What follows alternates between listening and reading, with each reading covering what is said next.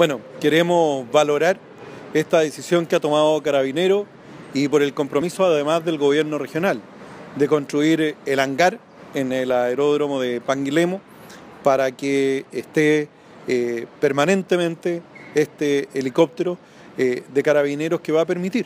mejorar considerablemente la presencia policial, atender a las diversas emergencias que se producen en nuestra región y dar una respuesta rápida y oportuna. Y además, como me lo manifestaba el general Félix Flores, con el que tuvimos la oportunidad de conversar sobre este tema y visitar y conocer el helicóptero y el hangar, más los espacios que están destinados a los pilotos y al servicio de la aviación en la región. Eh, este helicóptero va a actuar también para rescates médicos.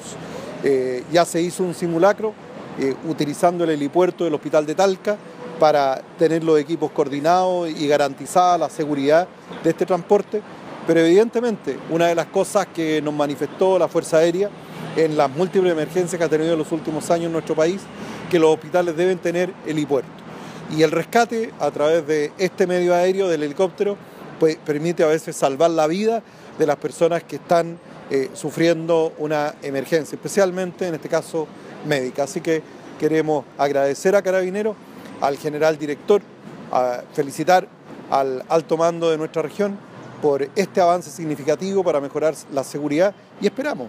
que en el corto plazo podamos ver aumentadas las dotaciones también policiales en nuestros retenes, en nuestras comisarías, porque una de las necesidades más urgentes que tenemos es darle tranquilidad a nuestra familia y todas estas medidas que tome la policía y carabineros van en la dirección correcta y por eso le reiteramos nuestro agradecimiento y felicitaciones por este gran avance para la región del Maule.